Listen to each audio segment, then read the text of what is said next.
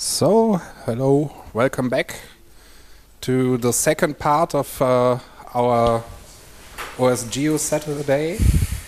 Uh, now we have a, a talk uh, from Raphael uh, about struggling with uh, open data in public transport. Uh, he worked also for a public transport company in Bremen called äh, Verkehrsbund Bremen Niedersachsen. Verkehrsverbund. Verkehrsverbund. Bremen Niedersachsen. Okay. Uh, yeah, and he uh, want to, uh, he also uh, be a member of the FIF and the FSFE. And uh, yeah, welcome genau. and start your presentation. Ja, vielen Dank. Ich beschäftige mich beruflich mit dem Thema öffentlicher Personennahverkehr, weil ich in einer solchen Organisation arbeite. Und darüber hinaus ähm, für das Thema Open Data will ich mal kurz zu sagen, wie das dazu gekommen ist. Ähm, wir haben von unserem ähm, Verkehrsverbund aus mit der, dem OpenStreetMap Stammtisch eine Veranstaltung machen wollen, oder wir haben sie auch gemacht. Und ähm, wollten gucken, okay, wie kriegen wir denn die Linienverläufe von verschiedenen Straßenbahnen oder Bussen schön in OpenStreetMap rein. Weil ähm, das ist ja viel Arbeit und ähm, am besten funktioniert sowas natürlich, wenn man die Daten direkt vom Verkehrsunternehmen oder vom Verkehrsverbund zur Verfügung stellen kann. Und da wir diese ganzen Daten ja eigentlich haben müssten, ähm, haben wir uns gedacht, okay, da machen wir zusammen einen Workshop und dann war das aber mit der Datenbeschaffung oder der Datenfreigabe für OpenStreetMap doch nicht so einfach. Und ähm, ja, da werde ich gleich ein bisschen zu erzählen.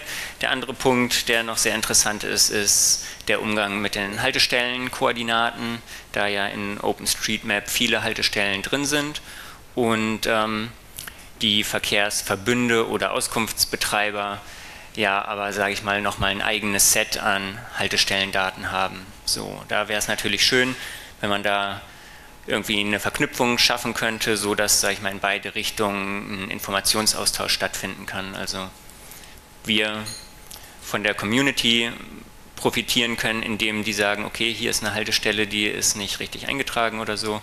Und auf der anderen Seite, dass die Verkehrsunternehmen ihre Daten auch zur Verfügung stellen, damit in OpenStreetMap die Daten möglichst vollständig sind. So, der Vortrag könnte ansonsten auch ähm, Welcome to Open Data Wonderland heißen, weil hier ähm, befinden wir uns ja im Verkehrsgebiet des VRS und wie ich bei meinen Recherchen festgestellt habe, sind die schon ziemlich weit, was das Thema Open Data angeht. Das ist schön.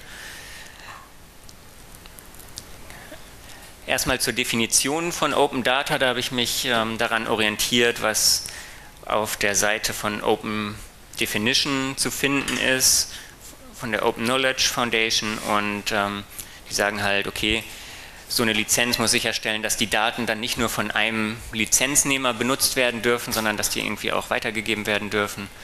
Und ähm, dann ist halt die Frage, ähm, reicht eine Attributierung? Also ich habe die Daten von Verkehrsunternehmen XY oder ähm, müssen die Daten, wenn ich sie weiterverarbeite, auch noch unter ähm, der gleichen Lizenz weitergegeben werden. Verkehrsunternehmen könnten das mit Open Data anders verstehen. Gut, also warum das Ganze? Ähm, meine, meine persönliche Meinung dazu ist, wir können mit Open Data einfach bessere Ergebnisse erreichen.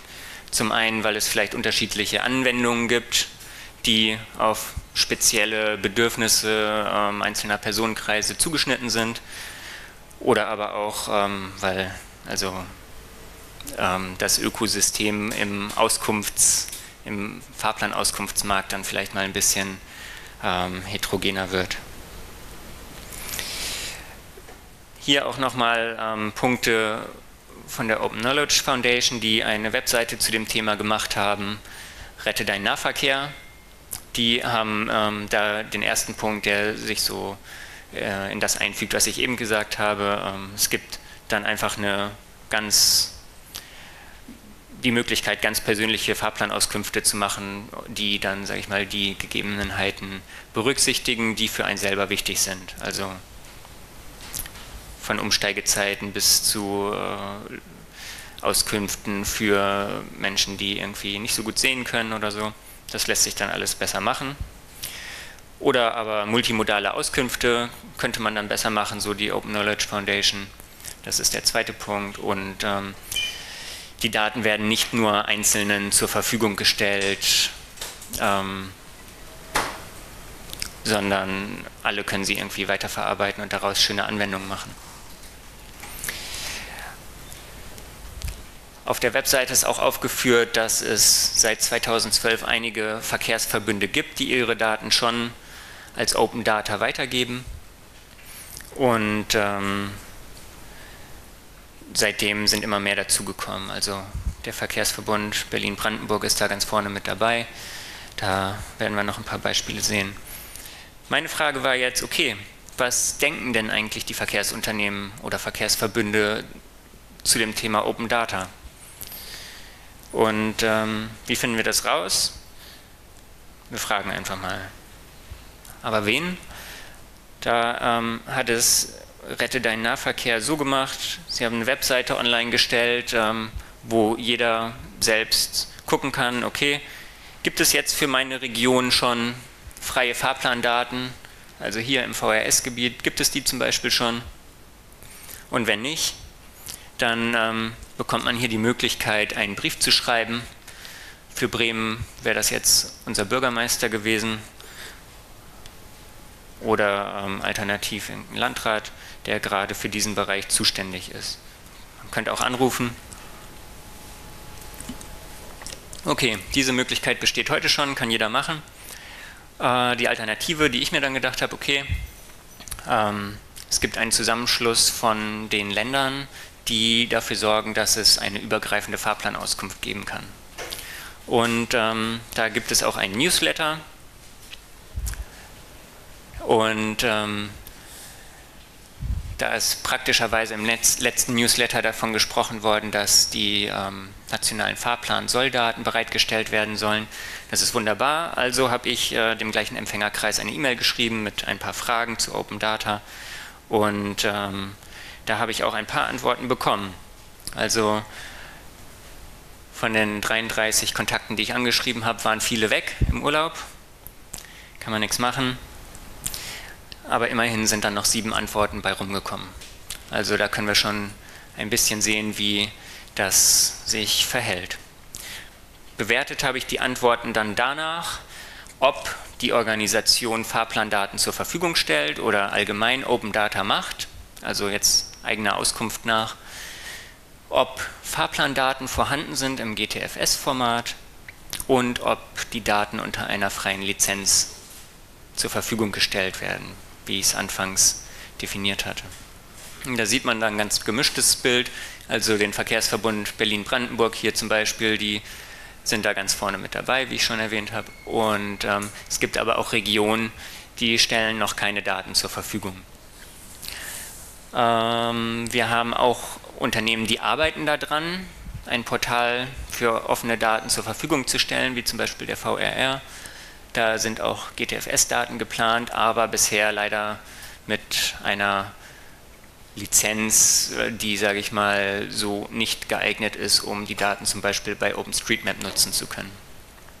Das ist auch für uns beim ähm, VBN so. Da gibt es in Bremen und Niedersachsen eine Organisation, die die ganzen Fahrplandaten zusammensammelt und anderen zur Verfügung stellt. Also da kann man sich melden, sagen, hier, ich möchte die Fahrplandaten für folgenden Zweck, muss man AGBs unterschreiben und dann bekommt man da auch irgendwann die Daten, aber man hat halt unterschrieben, man gibt die Daten nicht an Dritte weiter oder ähm, nutzt die Daten nur für Auskunftszwecke. Und das ist dann natürlich schon eine ziemlich starke Einschränkung, so dass für OpenStreetMap da die Daten zum Beispiel nicht zur Verfügung stehen. Es gibt andere Verbünde wie den VRN, die stellen Fahrplandaten zur Verfügung, aber nicht im GTFS-Format. Das heißt, da müsste man dann erst noch mal ein bisschen rumkonvertieren, bis man die Daten dann im gewünschten Format hat. Und was sehr interessant dann war, was sind eigentlich die Argumente der, Organis oder der Verkehrsorganisation für bzw. gegen Open Data. Der erste Punkt dabei war, okay, wenn ich jetzt die Daten zur Verfügung stelle, wie schaffen wir es dann, dass die Daten auch von den Dritten regelmäßig aktualisiert werden? Das können wir die ja kaum darauf verpflichten. Und nachher werden da irgendwo in einer Auskunft veraltete Daten angezeigt und dann müssen wir uns als Verkehrsverbund oder Verkehrsunternehmen mit den Kundenbeschwerden rumärgern.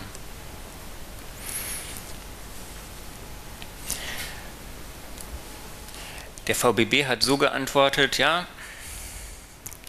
wenn wir dafür sorgen, dass es einen offiziellen Datensatz gibt und wir diese Daten auch regelmäßig aktualisieren, dann bilden wir dafür die Grundlage, dass auch die Dritten die Daten regelmäßig aktualisieren können.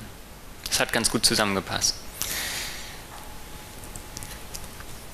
Der zweite Punkt, der aufgefallen war, war Qualitätsbedenken.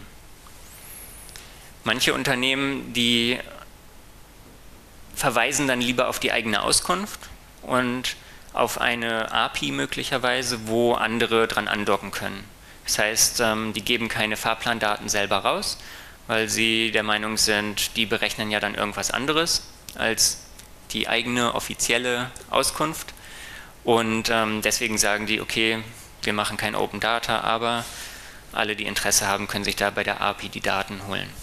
Da kann man dann halt sagen, okay, ich möchte von A nach B und dann gibt es irgendein Ergebnis zurück. Der VBB hat da auch wieder eine etwas andere Meinung zu und ähm, sieht das Ganze recht positiv. Ein sehr kritischer Punkt ist ähm, aus meiner Sicht die Argumentation, die dann Richtung Datenschutz geht. Datenschutz ist ähm, aus meiner Sicht dann natürlich Quatsch, weil Datenschutz immer um personenbezogene Daten sich dreht. Ähm, vielmehr ist hiermit gemeint, dass die Unternehmen Angst haben, dass sie irgendwie die Datenhoheit verlieren. Und vielleicht auch mal von Missbrauch sprechen äh, im Zusammenhang mit Nutzung ihrer Daten. Was könnte Missbrauch sein an der Stelle? Also wie könnten solche Daten missbraucht werden. Ähm, da geht es um Wettbewerb. In vielen Regionen werden die ÖPNV-Leistungen ausgeschrieben. Das heißt, ähm, es können sich andere auch mit auf die Verkehrsleistung bewerben. Und ähm, da haben die Bestandsunternehmen natürlich ein bisschen Sorge, dass sie dann vielleicht diesen Auftrag verlieren und an einen Konkurrenten abgeben müssen. Dass man, sage ich mal, die Fahrplanbücher oder ähnliches auch heranziehen könnte, ähm, das ist bewusst, aber man möchte es denen halt nicht zu einfach machen und gleich die digitalen Daten zur Verfügung stellen. Hier ein konkretes Beispiel aus unserer Region. Nach 90 Jahren hat da ein Unternehmer seine Verkehrsleistung verloren. Das wurde dann, sage ich mal, von einem anderen Betrieb übernommen. Und Manchmal klappt sowas dann auch nicht ganz so gut. Manchmal wird es dann nach einer Zeit besser, aber da muss man sich auch einfach mal überlegen, ne, wie wir so den ÖPNV da eigentlich haben wollen. Ne? Also ein kleines Unternehmen, welches da mit seinem Namen quasi für die Qualität birgt, kriegt das manchmal dann vielleicht noch besser hin als ein großer Konzern, wo die Zentrale irgendwo ganz woanders ist. Äh, aber auch zu diesem Argument, gab es Positivbeispiele, zum Beispiel vom VRN und wieder vom VBB. Diese Befürchtungen mit dem Wettbewerb gehen aber auch noch ein bisschen weiter. Also das eben war so auf Verkehrsunternehmen bezogen und wenn wir jetzt ein bisschen weiter gucken, dann kann das auch ein bisschen größer gesehen werden wenn zum Beispiel, sage ich mal, Dienstleister, die heute kein ÖPNV erbringen, aber wunderbar schöne Anwendungen machen und Daten sammeln, vielleicht irgendwann auch auf die Idee kommen, dass sie selber mal ein, ähm, eine Verkehrsleistung erbringen wollen. Da kann man schon sagen, so dass es da Branchenvertreter gibt, die Befürchtung haben, dass sie irgendwann überflüssig sind. Auf der anderen Seite gibt es auch von der Politik natürlich höhere Erwartungen, dass die Daten, die möglicherweise mit Fördermitteln finanziert werden, erstellt werden, auch wieder frei verfügbar gemacht werden. Da gab es ein paar Beispiele und ähm,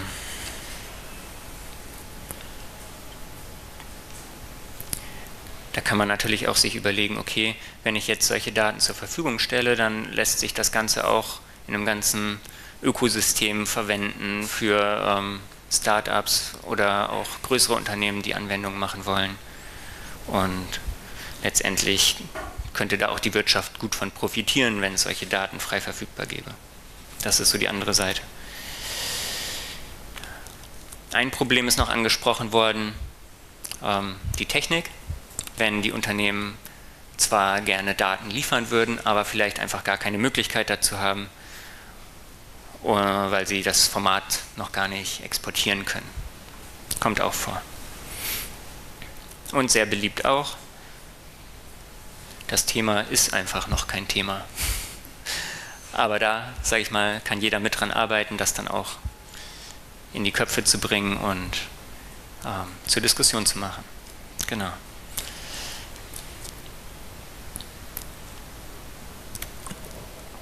Teilweise sind die Argumente gegen Open Data diskutiert worden und für Open Data noch nicht.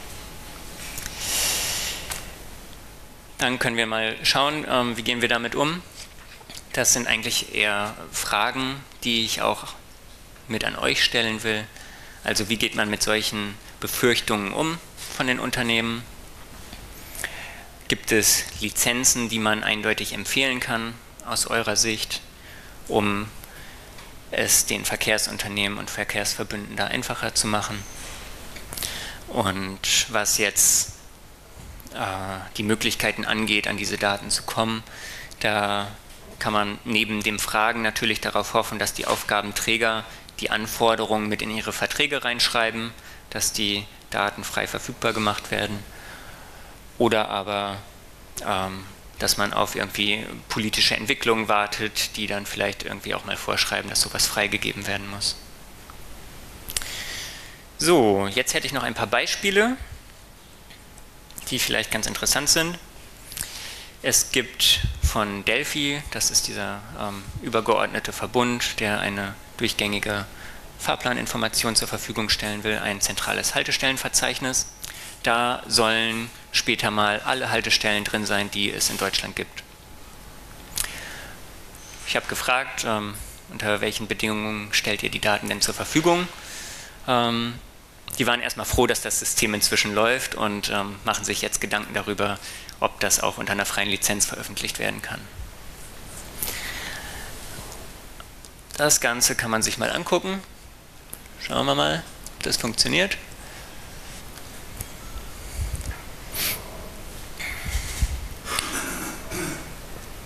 Das mal so. Also auf der Webseite von Delphi findet man Informationen dazu und wenn wir da mal ein bisschen weiter runtergehen, gibt es da eine Webanwendung. Da kann man sich anmelden. Also ähm, jeder. Und kann sich angucken, was für Daten gibt es da schon, ähm, zu welchen Zwecken man diese Daten benutzen kann. Wissen wir im Moment noch nicht, aber vielleicht können wir sie zukünftig dann auch für OpenStreetMap mal mitbenutzen. Das wäre sehr schön. So sieht das aus. Dann gibt es noch eine andere Geschichte. Einen Moment, bin gleich fertig. Ähm, es gibt auch Open Source Software, die Fahrplanauskunft macht. Ähm, nennt sich Open Trip Planner oder die grafische Oberfläche, die ganz schön zu benutzen ist, DigiTransit. Wurde ähm, in Finnland entwickelt und sieht eigentlich auch ganz schön aus.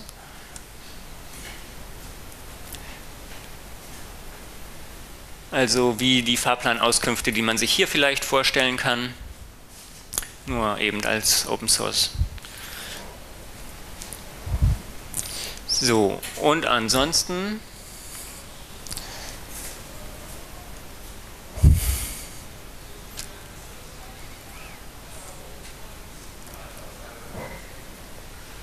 Tja. Wollte ich noch eine Folie zeigen?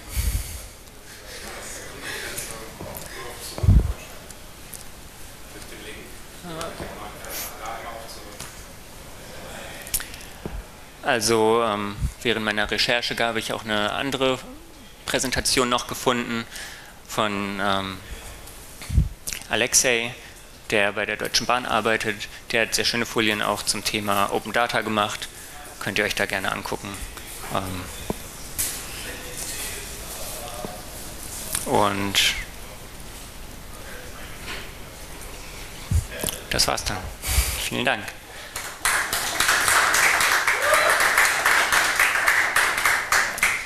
Ich habe mindestens eine Frage hier vorne gesehen. Ja, genau. Ich wollte schon gerade sagen, ich habe direkt auch schon gesehen, eine Frage haben wir hier schon direkt, deswegen reicht direkt mal weiter. Erstmal kurz zu diesem, äh, zu diesem Haltestellenverzeichnis, äh, was du gerade noch geöffnet hast. Äh, da stand was von DHID. Ist das nicht eigentlich das gleiche wie die IFOP-Nummer oder ist das jetzt nochmal was Neues, was man beachten muss? Das ist eigentlich das gleiche. Also DHID ist der deutsche Name für die IFOP-Nummer. Okay, und ähm, dann kannst du noch irgendwas sagen zu der Antwort vom VRR, die du bekommen hast? Also, äh, äh, was die da zu diesen Planungen gesagt haben bezüglich deren Daten? Ja, also ähm, ich weiß nur, dass sie planen, ein Open Data Portal auf den Weg zu bringen. Das soll diesen Monat noch kommen. Und ähm, ich bin gespannt, wie das aussehen wird. Ähm, und ich bin auch gespannt, ob sie sich noch dahin entscheiden, die Daten auch für OpenStreetMap oder ähnliches nutzbar zu machen. Erstmal sieht es nicht danach aus, sondern erstmal wird es eine AGB-Vereinbarung zur Nutzung der Daten geben, die man wahrscheinlich unterschreiben muss. Aber bisher geht das ja eigentlich doch auch schon ganz gut mit OpenStreetMap, weil man die, äh, soweit ich weiß, die Daten aus der EFA benutzen darf. Zumindest äh, Haltestellenposition und die äh, Bahnsteige und so weiter. So das kann sein, das weiß ich nicht.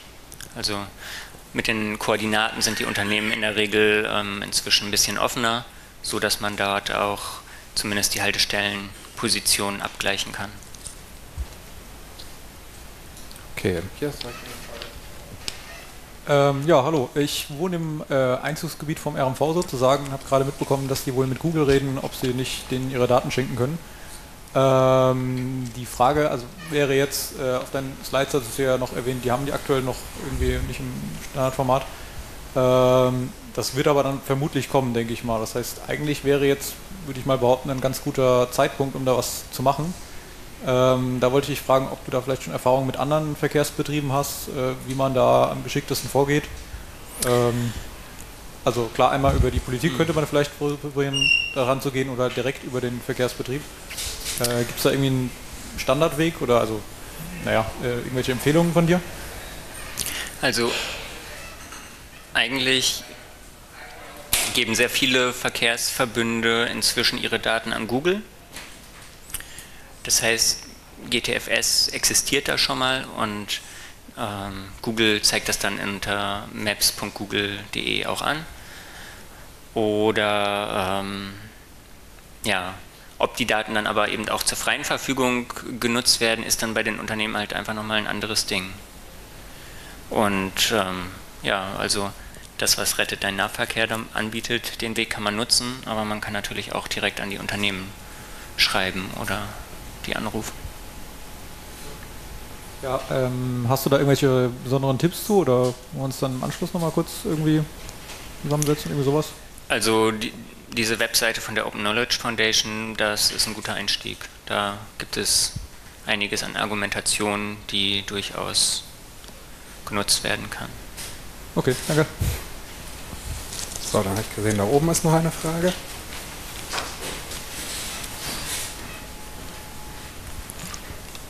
Ja, wie äh, sieht es denn mit äh, Echtzeitinformationen aus? Ich meine, man erwartet ja heutzutage nicht nur, dass man sieht, wo man überhaupt fahren kann und wie der Fahrplan eigentlich aussieht, sondern auch, äh, wann der nächste Bus dann tatsächlich kommt. Was ja auch für jemanden, der so eine Auskunft anbietet, einen enormen Mehraufwand bedeutet. Sind da die Lizenzen wesentlich anders? Wird sowas überhaupt gemacht? Oder wie fällt also, da? Echtzeitdaten bieten die Verbünde oder Verkehrsunternehmen meistens über eine API an. die dann, sag ich mal, zum eigenen Auskunftssystem führt, die sind, sage ich mal, in der Regel dann nicht unter einer freien Lizenz verfügbar. Ähm, möglich wäre das grundsätzlich schon. Also ähm, vielleicht habt ihr es eben gesehen da bei, bei dieser Demo aus fin Finnland, da haben die auch Echtzeitdaten drin gehabt.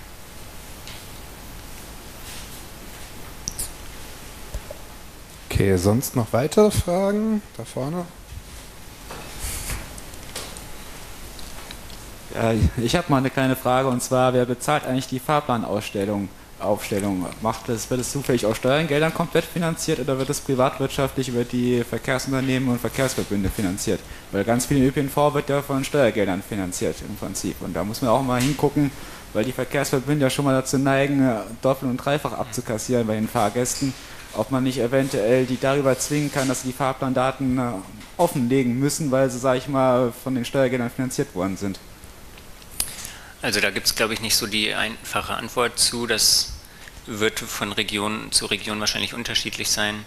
Teilweise werden ähm, die Fahrpläne vorgegeben, so dass die Unternehmen sich das gar nicht mehr groß aussuchen können. Und ähm, ansonsten erstellen die Fahrpläne aber die Unternehmen selber. Und da kommt es dann halt drauf an, ähm, ist es ein staatlicher Betrieb oder, ähm, oder ein, landeseigener Betrieb oder ein privates Unternehmen. Gesetze geben aber schon durchaus die Möglichkeit, dass man auch an Daten zu verkehrsunternehmensübergreifender Auskunft drankommen müsste. Vielleicht kann man ja darüber versuchen, an die Daten dann ein bisschen mehr, näher ranzukommen, dass sie die Unternehmen dazu zwingen, die dann auch offenlegen zu müssen. Also das ist zumindest so meine Idee. Also aus meiner Sicht wäre es natürlich wünschenswerter, wenn die Unternehmen das von sich aus machen würden. Wenn sie das nicht tun, dann muss man vielleicht auch andere Wege gehen. Okay, sonst noch weitere Fragen hier?